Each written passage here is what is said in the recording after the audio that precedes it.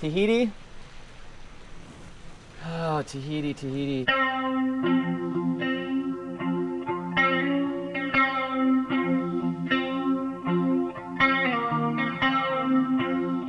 I love Tahiti. Um, I've been going there since I was 15, and yeah, that place has a. I don't know. I really, really enjoy it there. The people are very nice. It's beautiful, very easy living, relaxed. But then there's Chopu. That's the scariest wave in the world. It's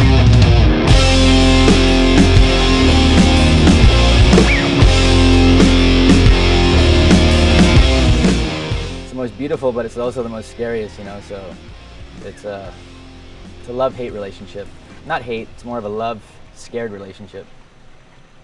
I didn't really look at the waves that day. I just kind of just went out and ski and went straight to the lineup. So probably the best thing I did because if I would have seen those how big the waves were, I probably would have had a little different take on what I was doing out there. But since that didn't happen, I just I kind of just you know whatever just went.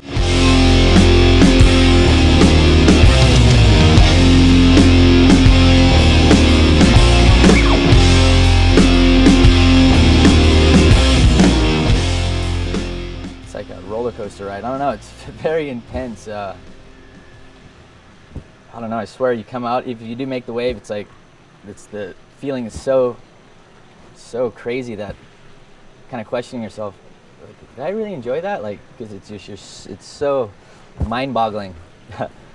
it's a trip. But I guess that's why you do it because afterwards you have that really trippy adrenaline feeling. You don't know if it's good or bad, but you're high.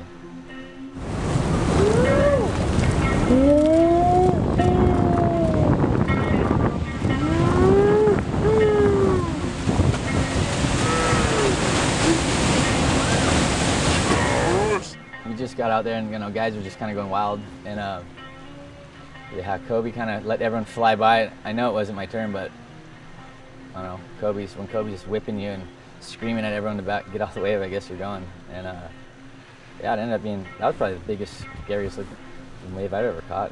Yeah by far. I didn't really know how big it was because you're not really looking. All you know is uh, you let go and you come down. It looks like you're gonna on the shoulder or something. That's what it feels like to me. And so I always feel like, am I deep enough?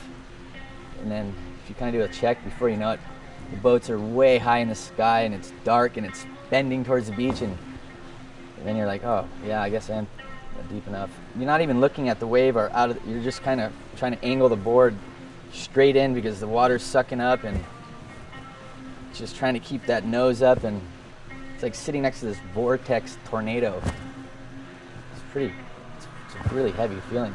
Um, but yeah anyways i poked i guess and, and i went over in the lip and i was i was, I was kind of said to myself in the lip. I was like wow i'm in the worst situation you can probably be in right now. And uh kind of just loosened up and actually you know what? I didn't feel a thing. I just felt like i was in this little cocoon. Didn't feel anything. I was in the lip and i just very feathered light you know what i mean? And i came up way in like waist high water just seeing stars, but I didn't really feel the, the impact, you know? It's like I was in this protected cocoon or something. It's pretty cool. Hi, Bruce. Get fucked.